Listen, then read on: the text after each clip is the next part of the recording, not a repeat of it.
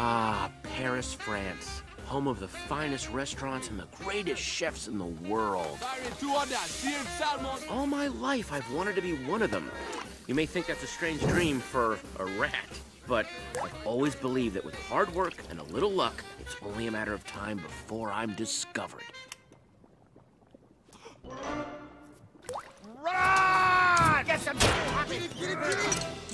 Know what would happen if anyone knew we had a rat in our kitchen? Go! Take it away from here, garbage boy!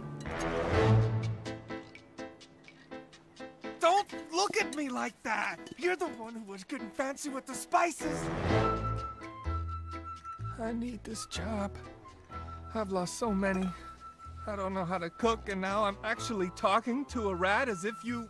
Did you not? You understand me? I can't cook, but you can, right? Look, don't be so modest. You're a rat for Pete's sake.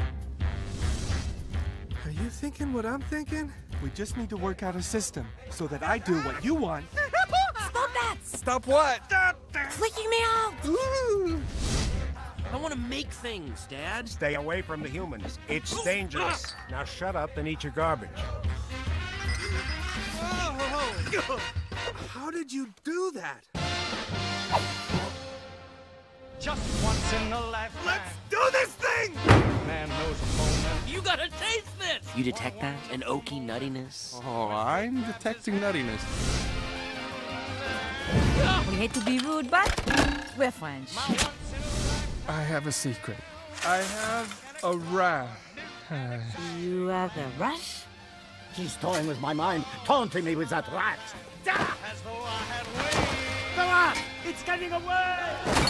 Together, we can be the greatest chef in Paris.